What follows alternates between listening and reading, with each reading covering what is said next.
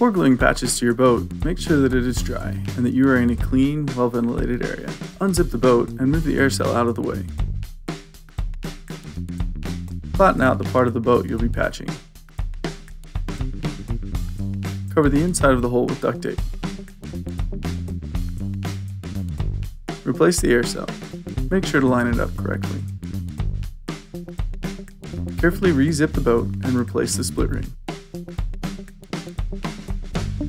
Cut out a piece of fabric that is about 2 inches wider and longer than the hole you'll be patching.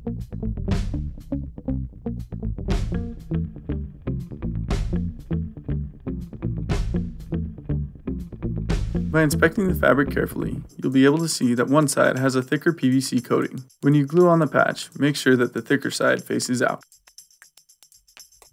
Trace the patch onto the boat. Mask off the area to be glued with tape.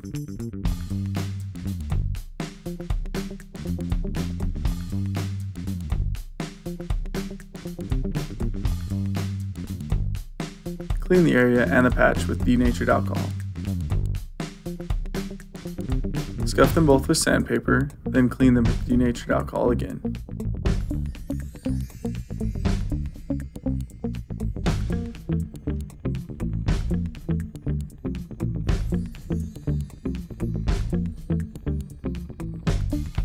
While the alcohol is drying, mix the catalyst into the glue. Paint a layer of glue onto the prepared area and the patch.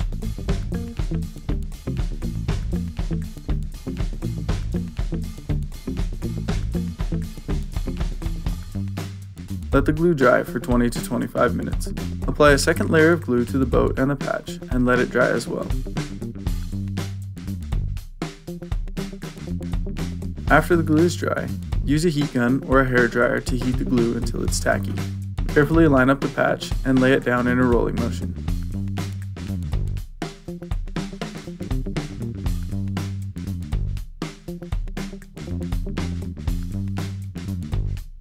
Roll out the entire patch to eliminate bubbles.